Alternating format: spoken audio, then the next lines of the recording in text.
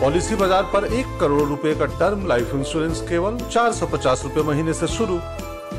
Wow. The NIA carrying out searches at over 50 locations in Malappuram, Kozhikode, Kannur and other places over allegations of criminal conspiracy to raise funds for banned PFI. The National Investigation Agency, the NIA, started a massive search operation across Kerala in the early hours today, targeting second-rung leaders of the banned Popular Front of India, the PFI. The raid was in wake of PFI leaders plan to regroup the outfit in some other name, is what sources are saying. To get more details, Arvind, what are you hearing?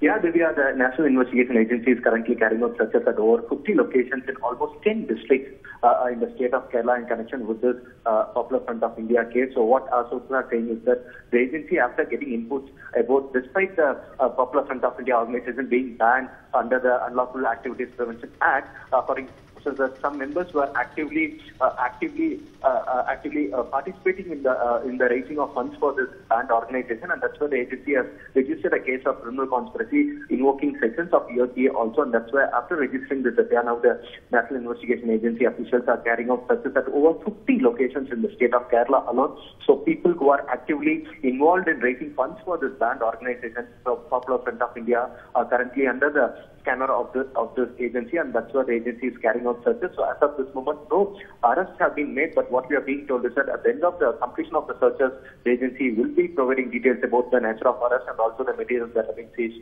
during this mammoth search operation that is currently being carried out in the state of Kerala.